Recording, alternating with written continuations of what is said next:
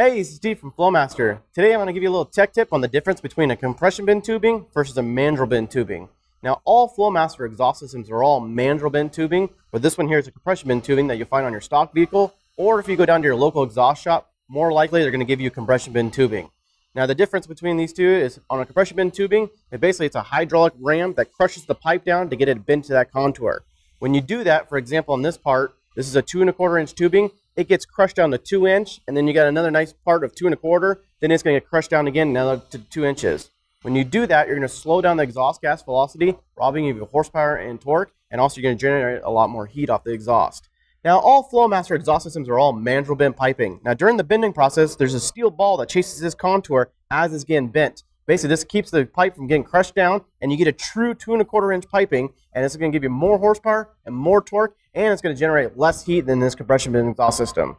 I hope you enjoyed this little tech tip on a mandrel bent exhaust system versus the compression bent, and I hope to see a new Flowmaster exhaust system on your vehicle soon. Thanks for watching.